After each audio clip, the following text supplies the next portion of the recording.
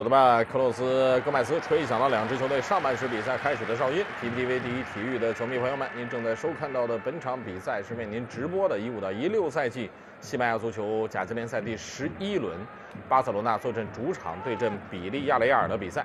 这种这股气呀，应该瞬间崩塌。看看这个球，后点有机会打门，捞射呀！什么力量刚才没有掌握好。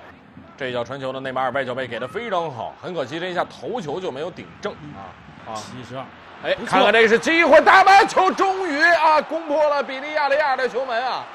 比赛进入到了将近六十分钟，又是内马尔，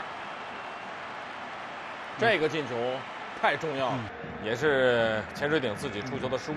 布斯克茨的直塞，直接一个直塞就到了内马尔的脚下。布斯克茨抢断之后的第一时间的塞球。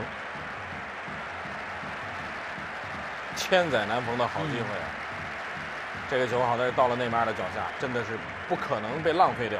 这个出球呢太过仓促了，如果处理的再好一点啊，对于布鲁诺来讲，完全可以避免自己球队的这个丢球，哪怕你开一个大脚呢。这一下的进攻呢，中路三名队员防守有点收缩，这个球，给了裁判吹了点球，还是指向了点球点。穆尼尔帮助自己的球队创造了点球的机会。这个球聪明的就在于呢，先捅了一下皮球，对，要过掉豪梅克斯塔。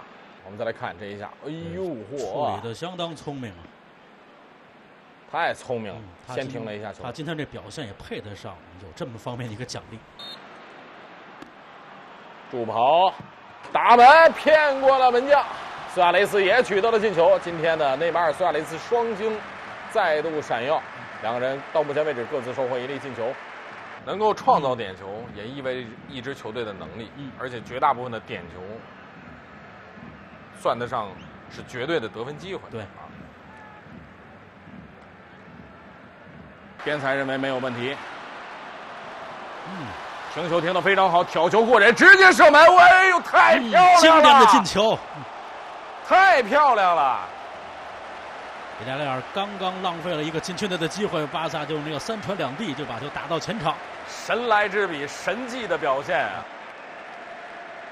啊！这一下，助理裁判嗯没有举旗，助理裁判认为是个平行站位，停球挑球直接抽射，自己还有一个转身，一切一气呵成，组合拳啊！你可以说他这个是是在向贝利致敬。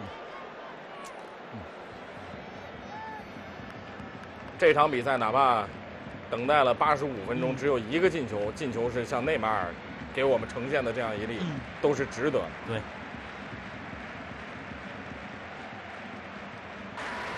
当值的主裁判戈麦斯吹响了全场比赛结束的哨音。